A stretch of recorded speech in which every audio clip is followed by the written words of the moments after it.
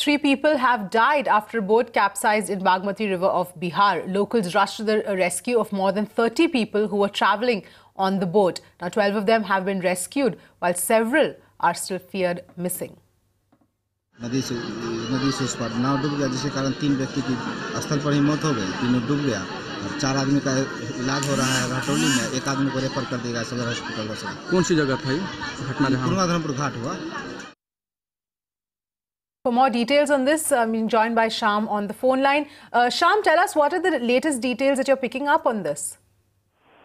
Well, as far as the rescue operations are concerned, now let me tell you, the, the state disaster relief force along with the NDRF Jawans have been deployed in for rescue operations. Now, the administration is very much present at the accident site. Senior officials are present.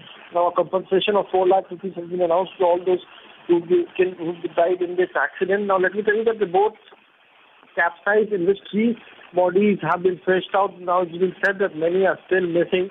But yes, around well, more than 10 people have swum safely. It's been said that since the boat was overloaded and uh, a few cattle were also being transported in that boat, as a result, uh, it, uh, it uh, turned in the middle of the river when it was going to the other side of the river. Now the district administration clearly says that they have many times uh, continued their drive against these illegal boats which operate in the river, but still many boats managed to operate here.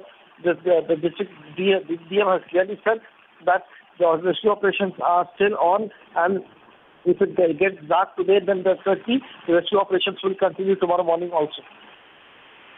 All right, uh, Sham, uh, stay with us. In fact, uh, we'll uh, get to the next uh, story that's come in. Eight people drowned while taking a holy dip in the Ganga River near Patna. And out of eight, only six bodies have been recovered so far. The dead include five children and one woman. Uh, Sham, what details can you tell us as far as this particular incident is concerned? Well, as far as this incident is concerned, let me tell you that this happened at in Fatwa, which is on the outskirts of Patna. Now, since uh, it being the, the first occasion of Kartik Purnima. So a large number of people usually turn up in the, at the river Ganga to take a holy dip. And in this meanwhile, it's been said that uh, these, this family had gone to the Diara area, which is in the middle of the river, to take a holy dip.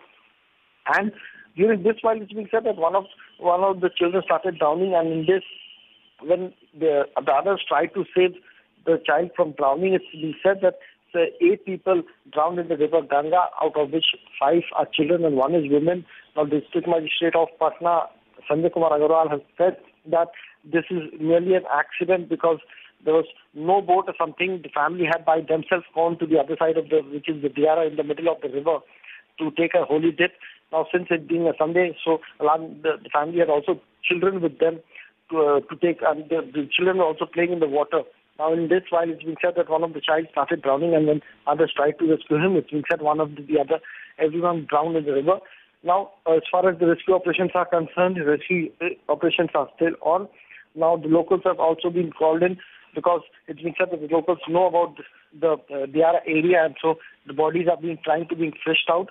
But in this case, also the district administration has announced a compensation of four lakh uh, to each of the, those who died. Now, it's been said that the people who drowned are belong to two different families, and known to each other that come in the Diara area to uh, take a holy dip. All right, uh, Sham, thanks for getting us uh, those inputs on both.